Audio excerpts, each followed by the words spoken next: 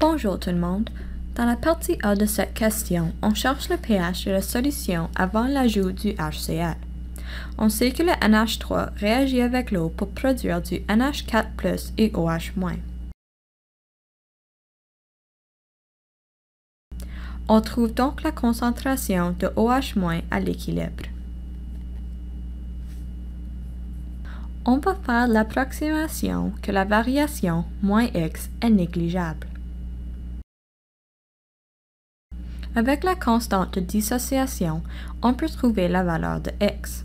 On utilise KB car NH3 est une base.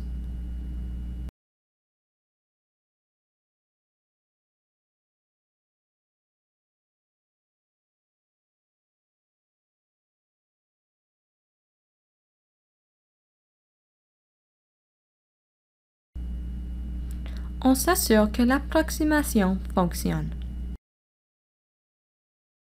x est moins que 5% de la valeur initiale, donc l'approximation fonctionne. À cause que x est égal à la concentration de OH-, on peut trouver le POH.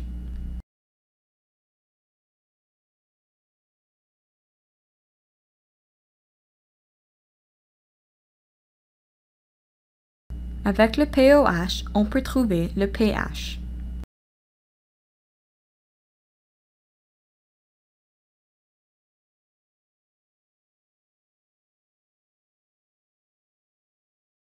Donc, le pH est environ 11,42.